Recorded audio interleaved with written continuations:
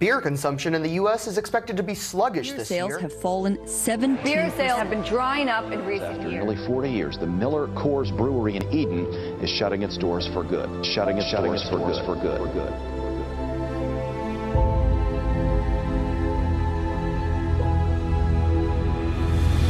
What would you do if I told you you could save the world by drinking beer?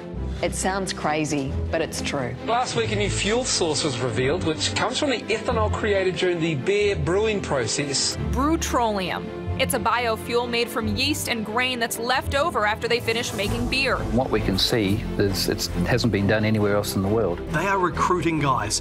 They are actually recruiting guys to drink more beer for the planet. what a job. Drink a beer and save the world. Bill, yeah, that, that's every man's dream. Brewtroleum. Petroleum. Petroleum. Petroleum. Petroleum. Biblia se llama Brewtroleum.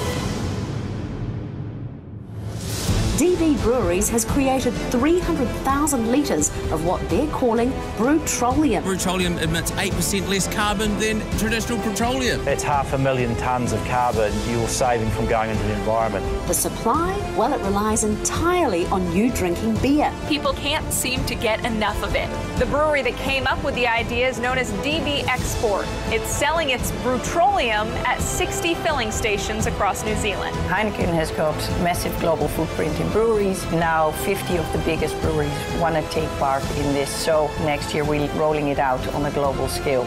Sorry, babe, can't go to your sister's house. Me and the boys got to drink some beer. Brewtroleum is saving the planet. Where are you going? To save the world.